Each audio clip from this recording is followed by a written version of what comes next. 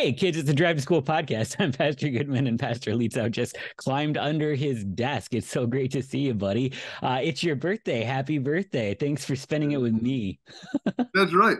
Hey, uh, you should have uh, uh, you you should have played like uh, uh, that uh, "Happy Birthday" song from the Beatles, but then it would have been copyright. You should have walked up some stairs instead of just popped up. But here we are. So um, let's just. to the elevator. there it is. There it is. Um, I hope the two people listening on audio are incredibly disappointed to not actually see our antics, your antics, everybody's right. antics. Um, but uh, it's potpourri. So uh, throwing a dart at a map. Uh, let's go Micah 6. Well, no, see, that's not fair because that's nobody believes fair. in their right mind that that without actually studied I, Micah six that I would have any idea because uh, I bet you right now uh, you ask the average pastor out there uh, if there is a Micah six and they'd be like 50 50. Because when was the last time, honestly, folks, uh, when was the last time you actually read the book of Micah? It's in the one year lectionary, but I think that's chapter one. So, yeah, uh, the three year gets it uh, uh, twice. Okay. Um, and uh, okay, fair enough. You get the Epiphany one, right? Mm-hmm. It's uh, Bethlehem, O Ephrathah, blah blah blah, right? That's Jesus. the Hebrew, yeah. Uh, right. um, but other than that, who reads who reads it? Anyways, I'm doing a Bible study, midweek Bible study. So I'm humble flex. go that? for it. They said that was a humble flex, but okay. who reads that? Let's go. Um, Apart from doing a Bible study on it, who reads Micah? Let's be honest. I don't. I don't say, I, hey, this is going to be a, a, great morning devotion, Micah 4. I don't do that. Six. Micah six. I know, but we're doing six, right? Okay. okay. So anyway, and I'm just going to do the first part of uh, Micah 6, the first half. It's really interesting uh, if you read it. Do you want me to read it? I'm going to read it real quickly. I would love right? that. Okay. Uh, hear what the Lord says. Arise, plead your case before the mountains, and let the hills hear your voice. Hear, you mountains, the indictment of the Lord and you enduring foundations of the earth. For the Lord has an indictment against his people. He will contend with Israel. O my people, what have I done to you? How have I wearied you? Answer me. For I brought you up from the land of Egypt and redeemed you from the house of slavery, and I sent before you Moses, Aaron, and Miriam. O my people, remember what Balak, king of Moab, did, and what Balaam, the son of Beor, answered him, and what, what happened at Shittim and Gilgal that you may know the saving acts of the Lord. And then it's changing. That's all the Lord talking, and now it's somebody else. Uh, uh, with what shall I come before the Lord and bow myself before God on high? Shall I come before him with burnt offerings, with calves a year old?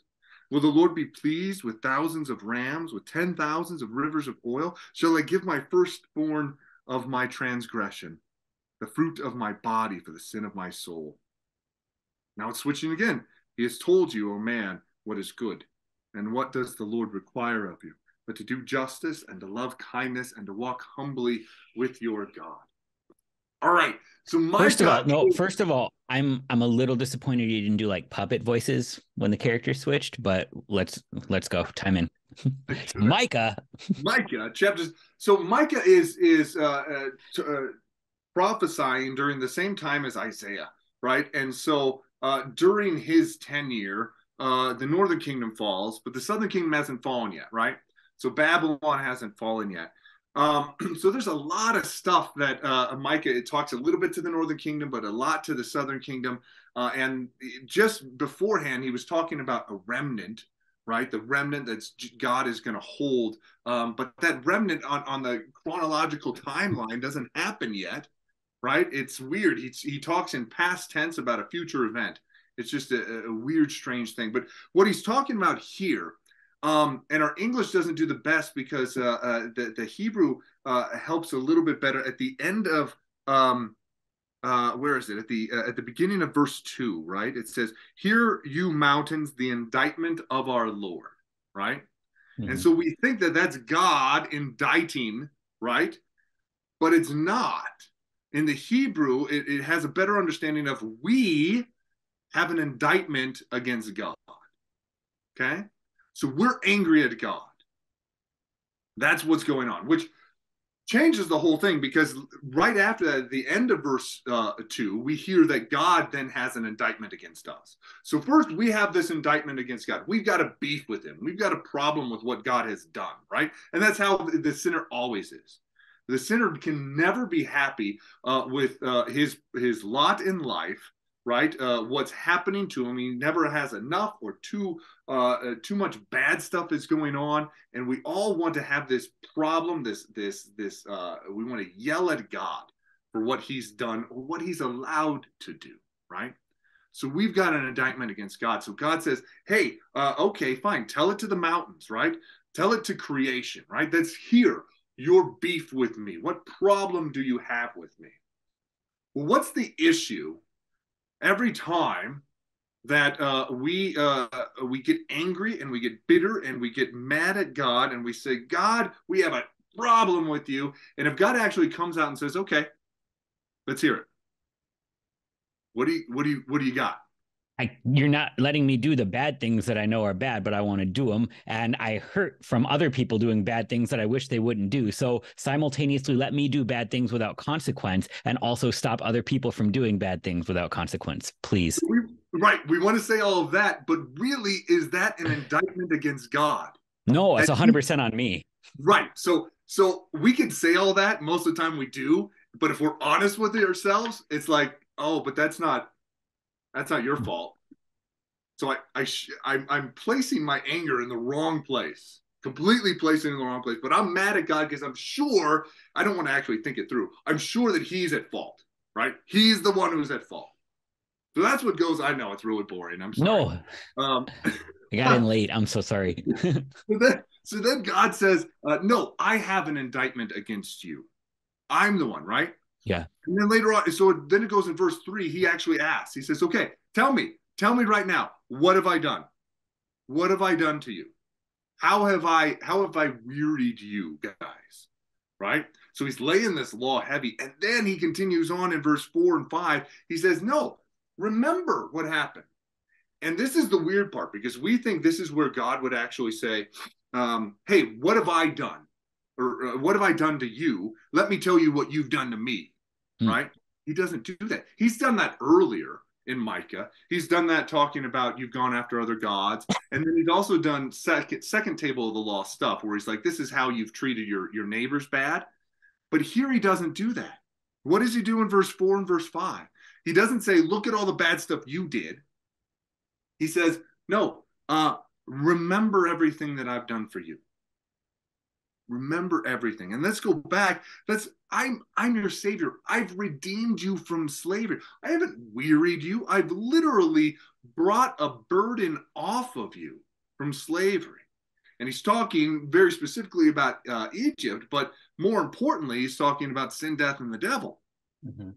right? So this is what god has done. I've done this. I've redeemed you. Right? And then i've sent you these prophets and i've sent you priests. Right Moses and Aaron and Miriam too, right? I, have done all of these things for you. And then remember what took place with Balak or Balak, however you pronounce it, and Balaam, right? Balaam, the king of, uh, uh, before you, uh, you guys went to the promised land, Balak wanted uh, uh, to have Balaam, a prophet of the Lord, curse you. And I said no. Even though Balak later on, or ba- Balaam was, was a bad prophet, uh, I didn't allow that, right?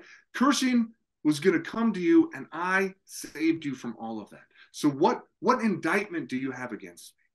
I've done nothing but be your God and bring you salvation and redemption and life. That's what our Lord lays out here. And I'll pause there before we get into 6 through 8 if you had anything you wanted to bring out. No, it's just kind of um humbling to know that as mad as we get with God, he he also probably gets frustrated with us. It's just that we do very different things with it, I would imagine. Right, right. And I think God does uh, probably, not probably, probably he does get frustrated with it us. says he does. We can't just take those words out of his mouth and seal them up. Um like he says he gets frustrated with us over our sin over our, our obstinance. And so the the problem the scary part of that is that i know what i do with my obstinance. I i throw a temper tantrum. I write people off. I hold a grudge. I i punish wherever i can. Um. So so hopefully mm-hmm. his thoughts are not going to be my thoughts and his ways are not going to be my ways. Right. right? And and then we want to make up with it, make make up for it. So this is the interesting thing with the the rest with verses six through eight. If you if you uh, read it at home, you'll you'll hear about talking about sacrifices. And so this is a change of uh, uh, uh, of speaker here. This is probably Israel speaking, right? Israel as, as a whole speaking, right? And this isn't somebody who's kind of uh, angry and being snarky sort of thing. This is somebody who thinks now they've had God's law, verses one through five, being placed upon them. They see it, right? Because God mm-hmm. says, uh, I have nothing, I've done nothing to you. You've done stuff to me, right? I've always been your God. So here it is. They have the law of God uh, upon their hearts. They know that they're sinners, but they understand worship and the gospel wrong. Mm-hmm. Because when the, the sinner, when they hear that they're a sinner and there's no way to dig out of it, right? No way to say, no, I'm not really a sinner. No, it's clear you're a sinner we say, okay, now what must I do to be reconciled back to God? Right? Mm-hmm. That's the thought. And what's really interesting here too, this uh, this uh, word bow, it's the second line in verse six, right? We hear this. With what shall I come before the Lord and bow myself before God on high? When we in our English hear this bow, we think of uh, a proper worship bow. Mm-hmm. This is a bow uh, before a tyrant. Mm right? So I'm, I'm, I'm cowering in fear. I'm kissing your feet because that's the type of God you are. You've shown me that you're mm-hmm. this God who's angry. So now what must I bring before you so you won't be angry anymore? And so he goes through these sacrificial things, but the sacrifices are all wrong because yeah, they're evil. Well, Pastor Goodman, what which way true worship? Which way is that going? True worship is god giving and us receiving but like it's just look at just how evil we make this when we we want to make it right with god. This is child sacrifice. Right uh, uh, don't get don't jump there yet but... how do you just slow your roll to child sacrifice? Because there's some interesting things that happen beforehand. We start low and then we go all the way up to child sacrifice right? Yeah. so he says uh, uh, shall it come with a burnt offering? Burnt offerings are the only offerings in the old testament that everything was burnt. You didn't get a portion back for yourself. It was all burnt, all sent to God. Right? So first we're starting with the burnt offering. I'm going to give everything here. Then calves, plural, mm-hmm. a year old. Now, for us in, in, in our ears, we don't hear anything of that. But if you go back to Leviticus, where God lays out what sacrifices there are, there's only one instance where he talks about a calf being sacrificed. And then he also talks about that calf in a different place. Uh, the, the calves that you should bring are eight days old. Hmm. Why not a year? Costs a lot. Right. Like, honestly. So, right. So this and so God, even in his in him setting up the sacrifices and says, listen, most of the time you're going to do turtle doves and a goat. Uh, uh, occasionally, this one time you, you you may bring a calf make sure that you haven't spent a year's worth of your money on it because it's not about what you're giving to me, right? Mm. But this guy here is saying, okay, maybe I should come with calves, many of them a year old. That's how good my sacrifice is going to be for you, God. Or better yet, how about a thousand rams or 10,000 rivers of oil? Now, yeah, that's hyperbole, but he's really talking about I've got to come up with a really, really, really super duper good sacrifice so God will be happy with me. And then finally, like you said, Pastor, shall I give my firstborn sacrifice? Should I offer uh, no my own flesh and blood? No, no, no. You, you, should not. You should not do that. The, right. And Just then the clear. God specifically says no child sacrifices. And then in Deuteronomy, he says, Hey, I know you guys are going to go into the promised land. There's a bunch of heathens in there. Some of the stuff that they do is really bad. Sexual perversion uh, that's incorporated to uh, idolatry, but also they sacrifice their kids. Because if one calf is good, then many calves is better, and then a thousand rams is better. And what's better than that is is a son, right? And so you're going to be tempted to do that. Don't do that. Don't do that, kids. Because don't sacrifice your kids. And this is friends don't let friends right. do child sacrifice. And this is the beautiful thing. Why? Because I'm going to do it. Yeah. because I'm the one. You've got this sacrificing all wrong. Remember what he said back in 4 and verse 5. He wasn't saying you're a real bad guy. You did this bad. You did that bad. He did. He says, remember back when I was your God and I did everything for you and I redeemed you. Right. And that's what the whole worship is and the whole sacrificial system is. It's not, uh, I'm really super duper pleased in you slitting the throat of a, an animal. It's not what this is about. The sacrifices of the Old Testament point forward to Christ, and they are vehicles and avenues in which the cross comes backwards to the people. The sacrifices are God giving the cross to the people. And don't you dare sacrifice a son. That's what I do. And I do that for you. This is the gospel. It's it's Jesus in the Old Testament right here. You were right. Jesus is in the Old Testament. Yay. And then verse 8, the last thing here uh, to wrap up in verse 8, he says, okay, fine. Now, but you know what's good, right? You don't need sacrifices and worship isn't earth to heaven. You know what's good. We've talked about this. He's told you, oh man, what is good. And what does the Lord require? Do justice, love kindness, walk humbly in the Lord. Sounds like faith. Be, have faith and be kind to your neighbors. That's what the Lord's asking. He's not asking you to, to empty your wallet. He's not asking you to uh, redeem yourself. He's not asking you to somehow be reconciled back to Him. He's done all the reconciling, He's done all the sacrificing. And hey, guess what? He always did. And, and willfully, like willingly, um, that that the son was not sort of robbed of his his agency in this but but jesus wanted to die that you would live and that the consequence of your sin would not be borne out on you or worse yet your right. children. Right. Yeah. This wasn't this wasn't a, a thing like uh, uh, the the son's going kicking and screaming. Son goes on complaining forth i think is the hymn.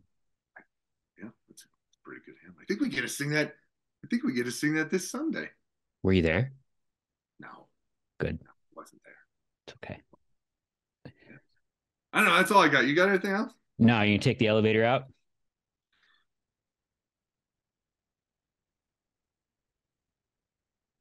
It's it's stuck. It's stuck.